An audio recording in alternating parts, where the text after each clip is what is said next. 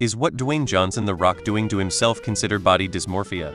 There is no way for us to know if it's body dysmorphia or just something he enjoys.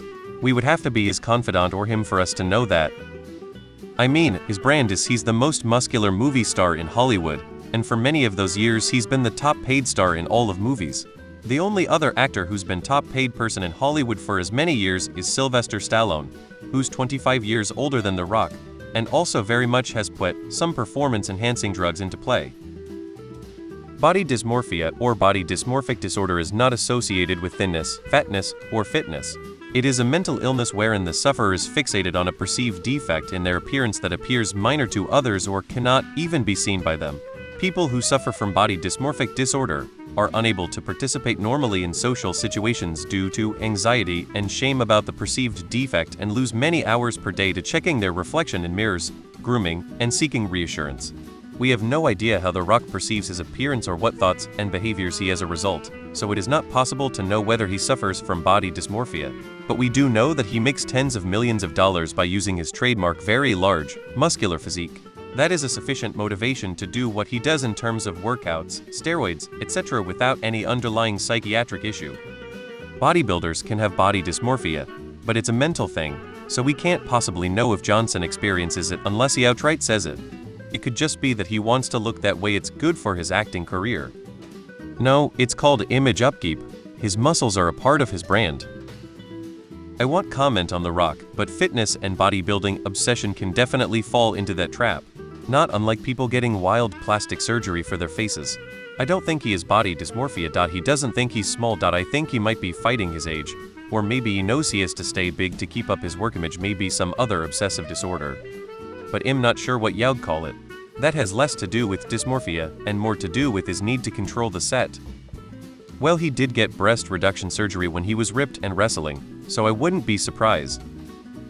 It gets hard to tell with some of these stars because their image is part of how TJ make most of their money. It reminds me of F1 driver Coulthard talking about how he had bulimia when competing. For most people it would be body dysmorphia related, but in his case there was a definite performance advantage to being lighter. I've been reading that The Rock makes people on set wait while he does 3-hour workouts. That's just Dwayne's massive ego on a power trip. I can't diagnose anyone at distance, and based on hearsay, so I won't express myself on Dwayne Johnson, although I think it's more likely simply dedication due to his career. But obsession over obtaining an extremely fit and muscular form while seeing themselves as too thin can be part of a mental illness, see vigorexia. You don't do it to yourself. But yes, his behavior and actions could reflect body dysmorphia. He makes his living from his body so, I give it's classic dysmorphia, it's pretty openly known he uses steroids as do most people that try to look that bizarrely muscular, so yeah, I'd say it's in the ballpark. I feel like a large portion of Dwayne Johnson's persona revolves around him being absolutely yoked. It's a lot easier to look absolutely yoked for a camera after a few hours of working out when your muscles are pumped full of blood. There's no way to know for sure without asking. It's probably a part of his contracts to look a certain way for the movies. Three hours for an athlete isn't crazy honestly, I work at a gym and my basic workouts are like 1 hour to 1.5 no chatting. Some of the lifters I know are there for about 2 although they sometimes chat a bit more. And then like basketball and volleyball athletes will come to the courts and train for their sport and lift after. So usually about 3 hours although with chatting.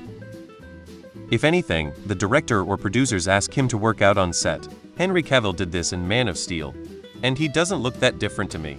He's been as big as he is since at least 2011 could be orthorexia, which is like anorexia, but instead of an unhealthy obsession with being thin, you'd have the same type of obsession, but with working out being health staying fit.